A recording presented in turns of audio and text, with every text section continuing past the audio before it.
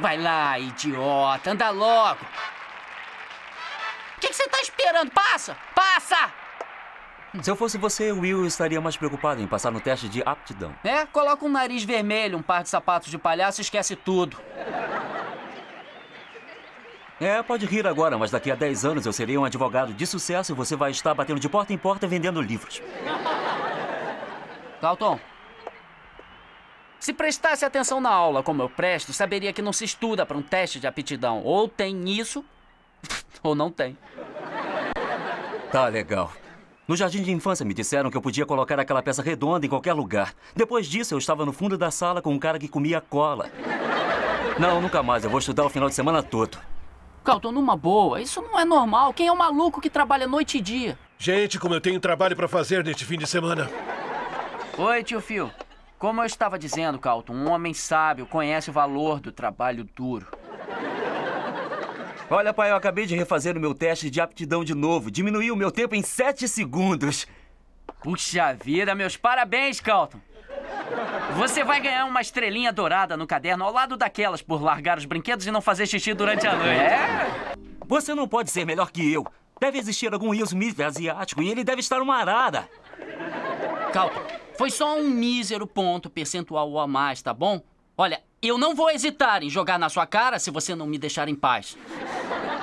Todos sabem que eu sou mais inteligente que você. Então por que usou cera de carro nesse vidro? Isso é vidraça e isto é limpa-vidros. Dá para me explicar, mocinho? Pai, o Geoffrey não iria embora assim. O que você fez para ele? Ashley, ainda bem que você não viu quando ele foi embora. Ficou com lágrimas nos olhos e quando ele chegou na calçada, olhou para casa e fez um gesto tão triste. Ainda bem que você é jovem demais para entender esse gesto triste. Mal posso esperar para crescer. Aquela mercearia é um ninho de cobras. Eu quase fui expulsa daquela fila rápida, só porque estava com um item a mais. Ficaria surpresa se visse quão rápido se pode comer um pão doce. Vivian Hillary vai preparar um jantar para nós. Pois é, a comida semi-pronta tem lá suas vantagens. Olha, tá quente aqui com esse forno ligado. Deve estar tá quanto? 91 graus ou uns míseros 90? Hum. Estou dizendo, Will.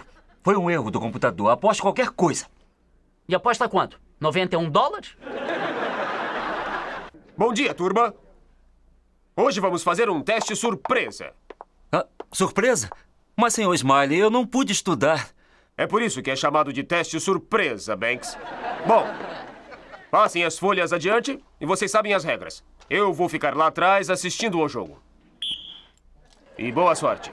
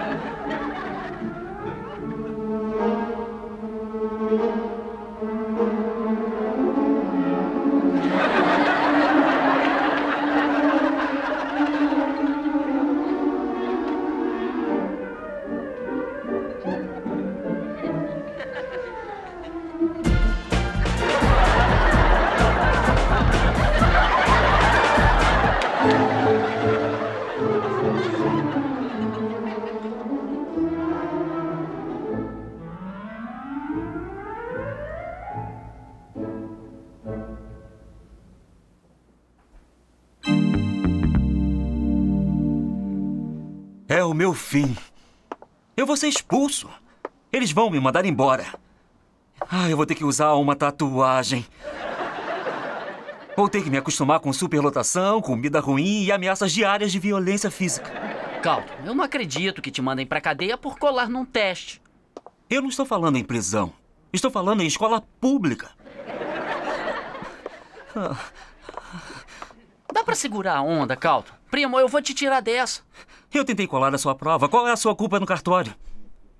Ué, bom, até que provem o contrário, você é meu primo, Xará.